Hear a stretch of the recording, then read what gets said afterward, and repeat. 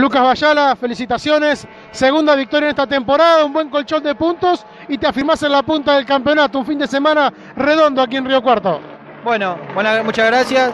La verdad que sí, realmente muy contento. Como vos decías, eh, un fin de semana excelente, perfecto. Pudimos lograr todos los puntos que había en pista y bueno, eh, nos llevamos una carrera que es muy importante para el campeonato. Así que la verdad que, que más no se puede pedir.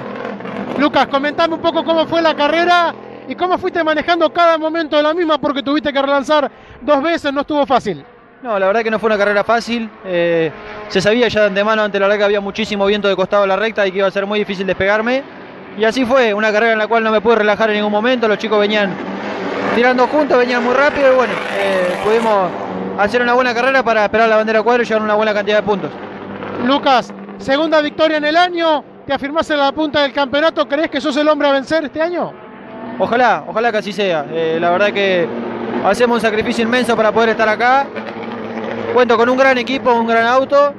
Y, bueno, nada, hay que seguir trabajando. Esto es muy largo, recién estamos en la mitad de año.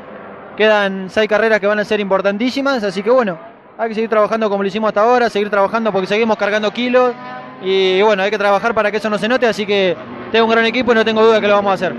¿Cómo se trabaja ahora pensando en Buenos Aires? La próxima cita también en el futuro de la temporada donde podría haber una fecha doble. Y la verdad que, se va a trabajar mucho, como siempre. Eh, un repaso general como se hace para todas las carreras. Eh, ya de ahora en más no se puede regalar nada, las cosas que se haya que poner va a haber que ponerlas y, bueno, seguir trabajando. Yo creo que tengo un gran equipo y con lo que trabajan eh, las cosas llegan, así que ojalá que podamos llegar a fin de año con chance. Lucas, gracias por estar en Mundo Sport y que sea con éxito el resto de la temporada. Bueno, muchas gracias. Gracias a ustedes por la nota, por siempre estar presente.